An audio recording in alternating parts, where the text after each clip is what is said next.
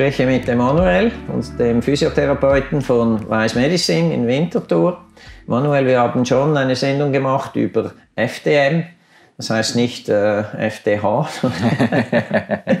FDM, das Fasziendistorsionsmodell. Für die meisten Menschen ja ein Wort mit sieben Siegeln. Äh, für wen ist das geeignet? Wen, wen, wer soll sich bei dir melden?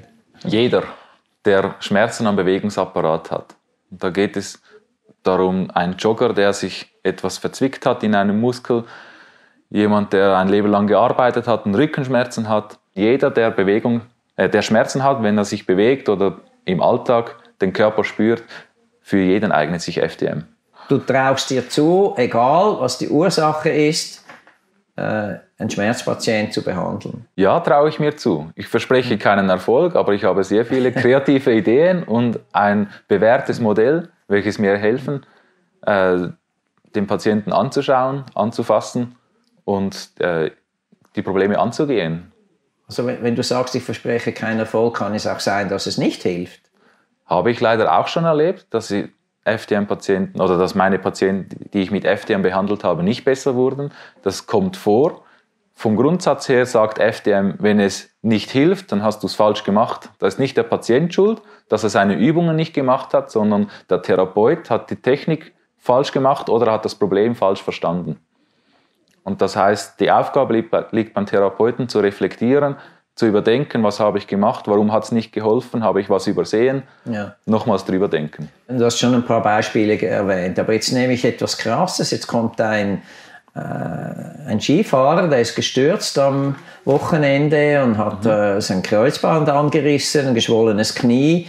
Äh, mhm. Soll der zu dir kommen? Die akute Schwellung, die passiert ist vor zwei oder drei Tagen, die sollte ein bisschen zurückgehen und dann können wir sehr gut mit FDM beginnen. Wenn es nicht mehr komplett geschwollen ist, können wir Sachen machen und schauen, was ist wo der Schmerz, wo wird was verursacht. Da gilt es dann den Patienten individuell anzuschauen was liegt, liegt noch für ein Problem vor? Weil eine Schwellung, die macht Schmerzen. Eine Schwellung geschieht, wenn etwas kaputt ist. Also haben wir eigentlich gute Indizien dafür, dass es Therapie braucht. Aber wenn etwas kaputt ist im Knie, meine, mhm. das ändert sich ja nicht. Du kannst ja ein, ein defektes Band nicht, nicht herstellen mit dieser Methode. Das stimmt. Ein defektes Band kriege ich nicht gerade oder nicht ganz. Aber FDM geht davon aus, dass Schmerzen verursacht werden von Faszien und diese Faszien, die wurden verzogen bei einem Unfall oder verdrückt oder gequetscht und das schauen wir an. Also du denkst, Rückenschmerzen kommen primär von Faszien.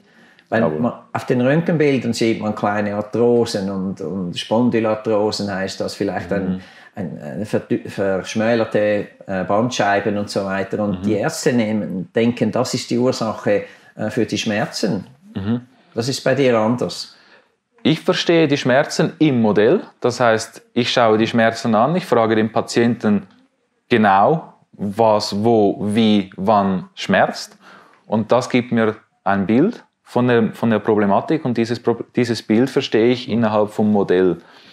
Wenn da natürlich eine ver veränderte Anatomie vorhanden ist, wie Arthrosen oder wie verminderte Diskus, äh, verminderte Bandscheiben, kann das sein, dass Schmerzen aufgrund, des, äh, ähm, aufgrund der Probleme auftreten in den Faszien. Aber die Knochen, die schmerzen ja nicht. Ja. Denkst du, dass zu viel operiert wird im Bereich Wirbelsäule? Ja, und das zeigt uns auch der Verlauf der letzten Jahre, wie man die Operationen immer, immer weniger werden. Zum Beispiel Knieoperationen, Kniearthroskopien macht man heute immer weniger weil man merkt, ja, so viel besser geht es denen nicht, die, bei denen es man gemacht hat. Rückenoperationen wird, wird man auch zurückhaltender. Es gibt immer noch Leute, die gerne operieren. Es gibt aber auch immer mehr Ärzte, die sagen, ja, wenn es nicht sein muss, warten wir noch. Wenn es wirklich schlimmer wird, machen wir dann vielleicht, weil die Erfahrung zeigt, dass es nicht besser wird, sondern wenn man mal operiert, dann ist es meistens nicht nur einmal. Mhm. Wenn jemand operiert ist, hast du dann auch noch Möglichkeiten? Ich habe noch Möglichkeiten. Die Erfahrung zeigt aber, dass wenn schon mal operiert wurde, ist es nicht mehr im Originalzustand. Und ich kenne ja eigentlich den optimalen Originalzustand. Wenn es vernarbt ist oder wenn es versteift wurde, dann ist es schwieriger, noch etwas zu erreichen, weil, es, weil man nicht davon ausgehen kann, dass man es wieder so hinbringt, wie es sein sollte. Ganz konkret, jetzt komme ich zu dir und ich habe Schmerzen hier, oder? da oben beginnt es, es zieht da den ganzen äh, Hals herunter bis da in die Schulter. Mhm. Knetest du jetzt mehr die Muskeln? Äh, oder? Als Laie könnte man sagen, ja, ja, er hat mich massiert.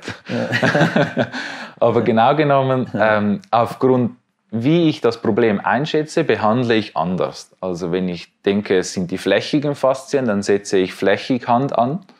Wenn ich denke, das ist ein punktuelles Problem, dann komme ich punktuell auf diesen Punkt zu suchen und zu, äh, zu drücken.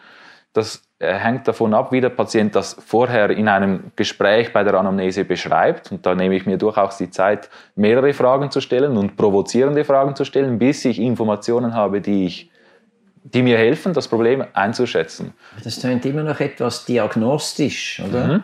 Ich möchte, weißt du, ich bin Patient, ich fürchte mich vor mhm. so muskulösen Typen wie du, die da kneten und mir Schmerzen verursachen. Äh, was machst du hier? Du, du wirst doch drücken, oder? oder? Oder was genau? Drücken, ziehen, verziehen, drehen, festhalten und bewegen. Das, das tönt furchtbar. Es ist wie eine Folterkammer. Das ist eine Folterkammer bei dir. FDM geht davon aus, dass jeder Patient weiß, was seinem Körper gut tut, unbewusst. Das heißt, wenn ich dir einen Schmerz zufüge, den du, den dein Körper erkennt als, das ist ein schädlicher Schmerz, wirst du mir automatisch Stopp sagen. Aber wie zum Beispiel bei einer zünftigen Massage, da, ah, das schmerzt auch, aber du weißt eigentlich, dass es gut tut, darum ja. lässt du es zu kann der Patient davon ausgehen, dass wenn er die Türe hinausgeht, dass es ihm besser geht. Also das heißt, weniger Schmerzen hat. Nicht bei jedem Problem. Das ist wieder individuelle Sache. Auch die Frage, wie lange besteht ein Problem schon? Es kann sein, dass gewisse Dinge besser werden, aber dann andere Dinge auftauchen, die man vorher nicht gespürt mhm. hat, weil sie nicht so stark empfunden wurden. Mhm. Es ist eigentlich immer, du spürst immer das, den Körperbereich, der dir am meisten schmerzt. Oder wenn du den Fuß anstößt mhm. und dann spürst du den Fuß und wenn du dann mit dem Hammer auf den Daumen schlägst, spürst du zuerst den Daumen, der Fuß ist plötzlich in Ordnung. Mhm. Und so ist es auch mit dem Körper, dass wenn du das stärkste Problem angehst und da etwas veränderst oder verbesserst, kann es sein, dass es an einem anderen Ort etwas Neues aufploppt, das war aber vorher schon da. Ja. Jetzt noch ein anderes Beispiel. Kommt eine ältere Frau, 70-jährig, hat Kniearthrose, kann kaum die Treppe heruntergehen. Jetzt liegt sie bei dir auf dem, auf dem Bett und was machst du da? Bevor sie aufs Bett liegt, lasse ich sie bewegen. Ich möchte wissen, in welchem Winkel tut, tun die Knie weh, wenn sie die Treppe geht. Ist es beim Aufsetzen des Fußes, ist es beim Abdrücken oder ist es beim Bremsen? Das, das sind Tests, die ich dann hier in, in, der, in dem Zimmer zuerst mache. Ich lasse auch das Knie bewegen. Wo schmerzt es, wenn man einfach nur so bewegt?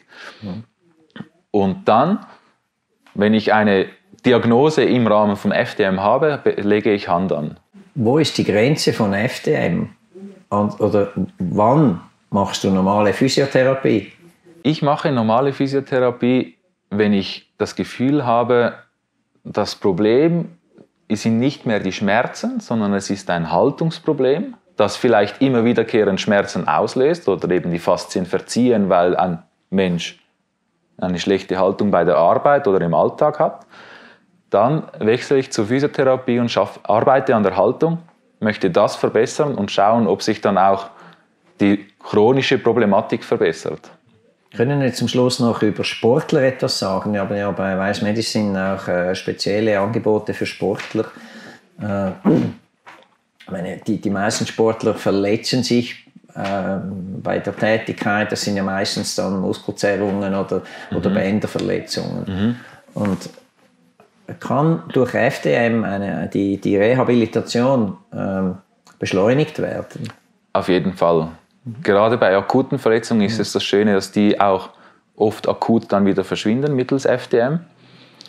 Ähm, es gibt Sportvereine, große Sportvereine, die haben an der Seitenlinie einen FDM-Therapeuten, der bügelt das Zeugs gerade während der Pause oder während einem kurzen Unterbruch. Wenn im Fußball äh, die Spieler gepflegt werden, dann kann es auch durchaus sein, dass da mal kurz FDM angewendet wird, damit es nachher wieder rund läuft. Es wird auf jeden Fall auch im akuten Bereich Die haben ja nur eine Minute oder zwei. Also Das kann das schon reichen. Das kann schon reichen, je nachdem, was die Problematik ist. Aber bei dir kommen die Sportler schon erst, wenn sie verletzt sind, oder? Für FDM ja. Ja. Weil bei uns in, bei Weiss Medicine können wir auch mit Mikronährstoffen auch die Leistung verbessern, oder? Und die Verletzungsanfälligkeit äh, reduzieren. Aber bei dir sind sie wirklich aufgehoben, wenn sie verletzt sind. Was das FDM betrifft, ja. IHT unter Belastung wäre dann wieder ein anderes Thema. Vielen Dank, Emanuel. War sehr äh, spannend und ja,